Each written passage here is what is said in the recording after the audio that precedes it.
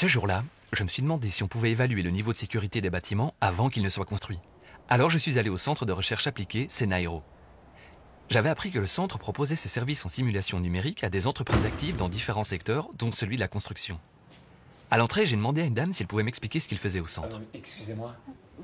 Elle m'a expliqué que le centre travaillait sur différents projets portant exclusivement sur des calculs réalisés par ordinateur. Ça, c'était le projet Simba. Il s'agissait d'aider les entreprises du secteur de la construction dans différents domaines. La rénovation, l'amélioration du confort en milieu urbain, l'aide à la conception mécanique et aérodynamique. Tout ça via une démarche de transfert de technologie. Elle m'a expliqué que le projet Sinus comprenait notamment l'acquisition d'un supercalculateur d'une puissance de plusieurs dizaines de teraflops. J'ai fait des terras quoi? C'est l'un des 500 plus puissants calculateurs au monde. Et tout ça grâce à l'Europe et la Wallonie.